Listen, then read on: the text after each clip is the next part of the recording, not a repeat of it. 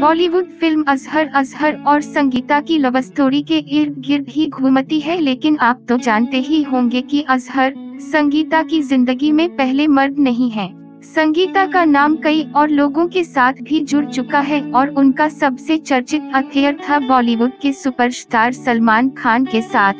संगीता बिजलानी और सलमान खान का रिश्ता बहुत सीरियस था। संगीता सलमान की ज़िंदगी की पहली महिला है जिसके साथ उनकी शादी फिक्स हो गई थी।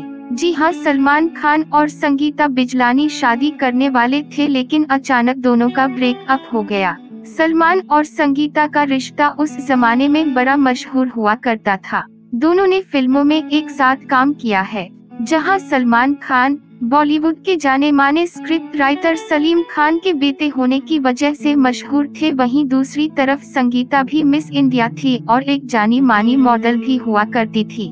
संगीता जब सलमान को मिली तो उनका हाल ही में एक ब्रेक हुआ था और इसीलिए वो काफ़ी अपसेट थी। ऐसे में सलमान ने उन्हें अपना कंधा दिया और धीरे धीरे दोनों करीब आ गए दोनों एक दूसरे से इतना प्यार करने लगे कि शादी का फैसला कर लिया। सलमान के घर पर भी संगीता सबको पसंद थी। जासिम खान की बुक डैश बीइंग सलमान में इस बात का खुलासा किया गया है कि सलमान खान और संगीता की शादी 27 मई उन्नीस सौ तो तय की गई थी। शादी के कार्ड्स भी बच चुके थे लेकिन फिर ऐसा कुछ हो गया कि ये रिश्ता टूट गया। मीडिया रिपोर्ट्स के मुताबिक सलमान खान एक्ट्रेस सोमी अली के करीब आने लगे थे। सोमी सलमान को बहुत पसंद करती थी और शादी करना चाहती थी। संगीता से सलमान की बेवफाई देखी नहीं गई और उन्होंने रिश्ता खत्म करना ही सही समझा। संगीता ने सलमान से शादी करने से इनकार कर दिया और बाद में एक इंटरव्यू कहा कि सलमान शादी करने के लायक नहीं है।